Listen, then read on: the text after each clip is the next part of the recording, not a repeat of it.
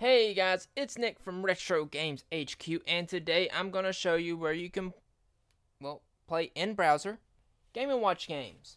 Now, usually I just show you emulators.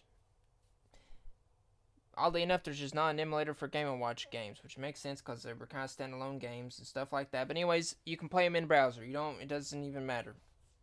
You know, just you can play these in browser. Browser. Just go to pica-pic. Uh, dot. Pick a pick, pretty much. So it's Hippopotam's digitalized collection of handheld electronic games.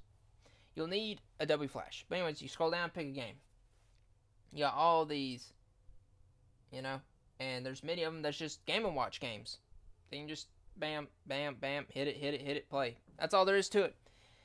Anyways, that's all. That really is all there is to it. It's much simpler than the other things. Anyways, that's it for this video. Make sure you subscribe, comment, hit the bell.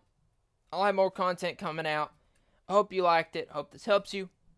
And retro on.